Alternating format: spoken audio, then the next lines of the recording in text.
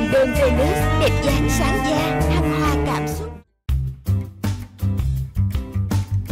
Kia mình chờ ở đây mà sao đi đây không thấy ai đơn gì trời? Anh chờ em mà. Trời ơi. Ờ đúng rồi. Hẹn ra đây ờ, có gì quan trọng mà Tự nhiên anh nói chuyện như người xa lạ Vậy ở đây có ai đâu mà anh nói chuyện với em như người xa lạ Thì vậy tự ơn bữa nay anh mới nhận tin nhắn là ừ anh ơi tới địa điểm đầu tiên mình quen nhau Em có chuyện quan trọng cần nói với anh Thì anh đâu biết đâu thì anh tự anh thấy hồi hộp. Nên anh tới sớm Bây anh giờ- chờ một tiếng đồng hồ. giờ tay anh lạnh lắm. Đúng rồi. Anh bị hồi hộp đúng không? Anh không Giờ biết anh gì ôm em cái cho hết hồi hộp nha. Ôm em cái cho hết hồi hộp nha.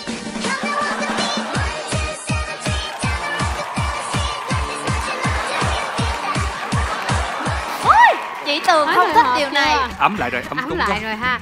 Bây giờ á em muốn nói chuyện với anh Tại vì á em nghĩ là cái nơi đầu tiên bắt đầu á cũng sẽ là nơi kết thúc. Có gì? Nghiêm trọng vậy? Anh đã hồi hộp lắm rồi đó nha. Không biết nộm thêm cái nữa đi cho bớt hồi hộp. Trời ơi. Rồi em nói được rồi đó.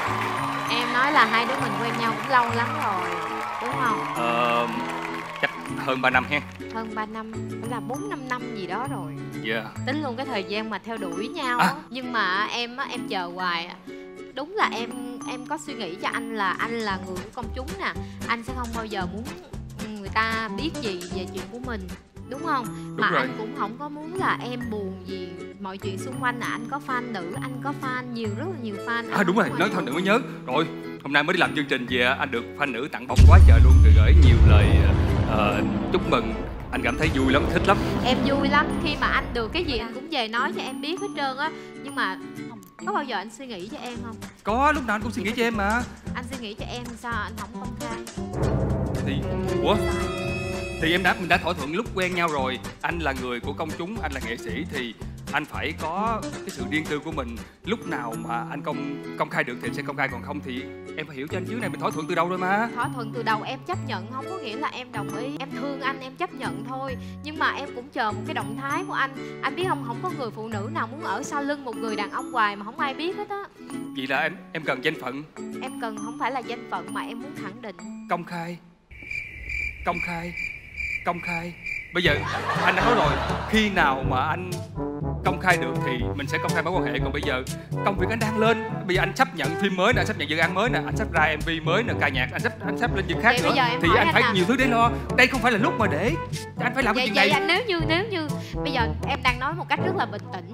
Nếu như mà anh chọn lựa công việc đúng không? Anh nói là anh đang phải thăng tiến đúng không? Đúng. thì, thì anh quan trọng công việc hơn em hả sao chứ làm khó anh hoài vậy? Mình đã mình đã thỏa thuận với nhau rồi. Anh ơi từ đầu là em biết em biết thỏa thuận nhưng mà anh biết không? Trong cuộc sống cái cái cái chuyện mà mình sống chung với nhau mà cứ cứ lén lút như thế này cảm giác của em là giống như là em là một cái người ngoài vậy đó. Em cứ lên báo hay lên mạng em đọc là thanh thức độc thân. Ủa vậy em vô hình trong mắt mọi người hả? Em không muốn có cảm giác đó. Rồi á em nói thiệt với anh nè bây giờ anh phải bình tĩnh. Tại vì khi mà em nhận được cái tin này là em nghĩ là em phải nói với anh bây giờ anh có quyền chọn hay không chọn em có thai với anh. Bây giờ em bắt anh chọn là một là với mẹ con em hai là công việc.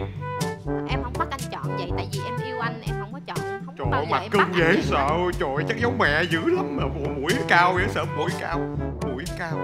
Sao anh quá? Ồ, Trần Khải Như, à, cái cái dáng siêu âm của em để quên trên bàn. Anh xin Ờ, lỗi. cảm ơn anh nha cảm ơn anh. Giống ghê á, trời chắc ba nó nè hết dài Hết dạ hết dài nhưng mà anh nói cho em biết cái thỏa thuận ban đầu anh sẽ không quên.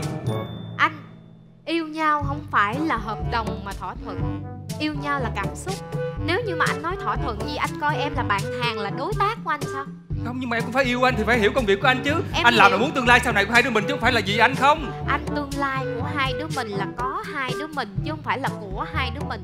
Có em và anh ở đó em muốn mỗi chỗ anh xuất hiện mỗi nơi em có mặt đều có nhau. Em có cảm giác cái nơi lung linh quyền bí đó có một mình anh biết là có em à.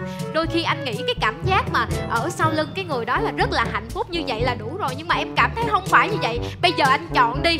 Em được công khai với mọi người em sẽ sinh con cho anh còn không là em sẽ chọn đi. Anh chọn đi.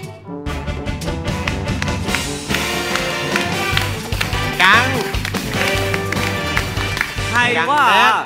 cái lúc này đang hay luôn á nhưng mà nhưng mà anh thức.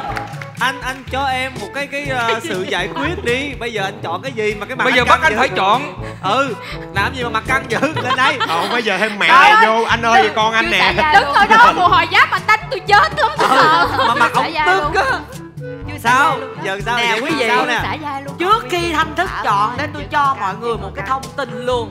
Thật sự luôn là Thức bây giờ đang rất là đắt show Rất là nhiều phim luôn. Cho nên trên thực tế hồi nãy giờ anh ấy diễn đó Nhưng mà tôi biết là anh ấy cũng có lòng ghép tính cách của anh ấy vô. Dạ. Chọn đi Chỉ được chọn một thôi. Năm nay nhiêu tuổi rồi cưng? dạ 36 tuổi rồi. Nhà hối lấy vợ chưa? dạ nhiều lần cũng nhiều vợ. Ôi không nhiều lần đó dạ nói đùa thôi. Chứ uh, 36 tuổi rồi. Còn uh, chuyện uh, hôn nhân gia đình thì uh, Trăng chính cho giữ kín của thanh thanh thức uh, để một phần của uh, cuộc sống mình. Rồi Xin nhưng mà bây giờ nếu của như cái tình huống lúc nãy Sự thật nó là như vậy Thì bây giờ em chọn cái sự nghiệp của em Hay là em chọn hai mẹ con cô ấy? Công khai hai mẹ con cô ấy. Bây giờ phải chọn luôn hả? Đúng. Ủa mấy hai bạn mấy mấy người chơi đã chọn chưa? Đâu có Cái về này tình huống. Đây là tình, Tình huống huống. thôi. À, à gì hả? Tình huống Ừ. thôi Diễn À, tình huống thôi rồi chúng ta mới đoán tính cách của em sau Đúng không? Với cái tình huống lúc nãy Em sẽ đưa ra đáp án. sao. Xử lý như thế nào? Đương nhiên là không rồi. Cưới chứ. Thực sự nếu mà Mà rơi vào tình huống đó thì bắt buộc mình phải bắt buộc mình phải chọn gia đình bắt buộc thôi nha. Chứ thật sự đúng nếu mà ờ, Muốn thì cũng không muốn lắm. muốn thì cũng không muốn nó thật sự. Tại vì mình đã thỏa thuận với nhau rồi. Khi nào mà cảm thấy hợp lý nhất tới thời điểm mà phù hợp thì hai đứa sẽ công khai. Tại vì sự nghiệp công việc gia đình của mình nó ổn định hết thì mình sẽ công khai Nhưng mà cuộc đời nó luôn luôn có Đúng. những ngã rẽ. Để đó. Đứa con nó bất ngờ. Thật ra nếu mà không có tình huống đứa con thì là không. là không.